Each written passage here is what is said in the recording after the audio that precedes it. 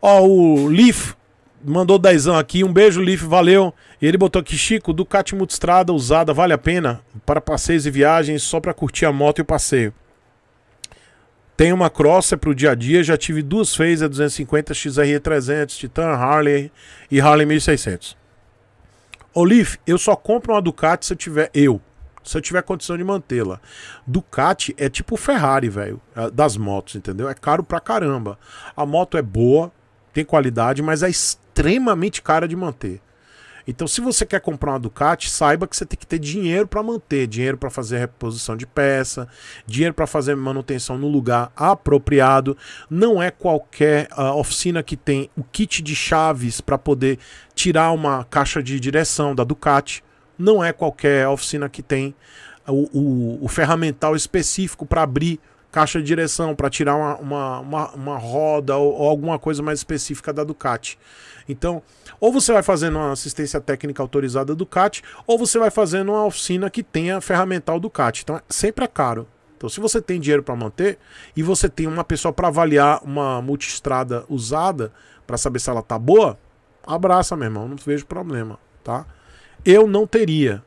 Na condição que eu tenho hoje, eu vejo muito mais, mesmo me esforçando para poder ter uma premium, eu prefiro, eu prefiro ter uma BMW ou uma Triumph mas não a Ducati.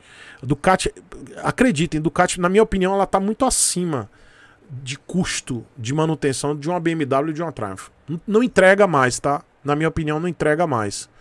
Ela entrega o mesmo, mas ela tem uma grife, um, um patamar acima de manutenção. E ela não tem um pós-venda melhor do que a, a BMW, por exemplo. Não tem. Então, é uma questão de gosto. É o mesmo, é o mesmo, eu acho que é uma analogia que a gente faz a uma Ferrari e a uma um, Porsche. Qual a minha visão de uma Ferrari? Pô, Ferrari é um carro é, para poucos. Não estou desqualificando a Ferrari de forma alguma, mas quando você vê o custo-benefício de uma Ferrari com um Porsche, cara, a Porsche é muito mais custo-benefício, porque você tem uma manutenção muito mais real do que uma Ferrari. E você pode usar tranquilamente um Porsche na cidade. Tranquilamente. Você pode usar um Porsche. Porsche é um carro muito mais. É... Eu não estou dizendo que ele não é um carro. É...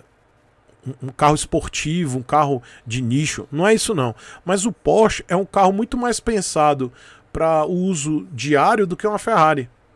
Ferrari é um carro de nicho, é um carro para, digamos, final de semana, é um carro mais esportivo, é um carro para você colocar no, numa pista, é um carro para você fazer um uso mais específico, né?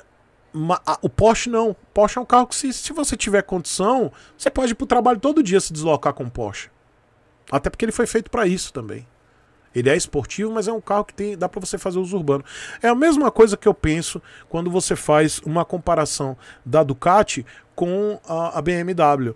Eu enxergo a BMW como uma moto que você pode. Qualquer BMW, tá? Qualquer BMW. É uma, mesmo as mais esportivas, as mais porradonas, né? É, a 1000 RR. Eu entendo que é uma moto que você tem um, pós-venda incrível, que a BMW entrega, e é uma moto que você ainda consegue usar no dia a dia, pelo custo de manutenção. E aí vamos até para uma R1250 GS. Cara, você consegue usar uma R1250 GS todo dia. Eu estou falando para quem tem grana, ok? E aí você ainda vai ter um custo de manutenção mais baixo do que uma Ducati. Agora, você pegar uma Ducati para ir pro dia a dia, cacete diário, assim, cara, a manutenção fica muito mais cara. E o pós-venda que a Ducati não te oferece igual ao da BMW. Então eu, eu faço essa, essa comparação Ducati Ferrari e BMW Porsche, né? é até interessante, né? Porque é italiana e alemã. É, acho que ficou legal essa comparação. E essa aqui é uma singela homenagem e agradecimento a todos os apoiadores e membros deste que é o pior canal do YouTube. Pessoal, muito obrigado. O nome de todo mundo está aparecendo aqui agora e vai aparecer no final de todos os vídeos desse canal aqui. E se você gosta do conteúdo, quiser se tornar um membro ou apoiador, mas principalmente um apoiador, vai lá no apoia.se barra Chico Sepúlveda. E se você quiser se tornar um membro, toca aqui nesse botão embaixo, seja membro. Muito obrigado.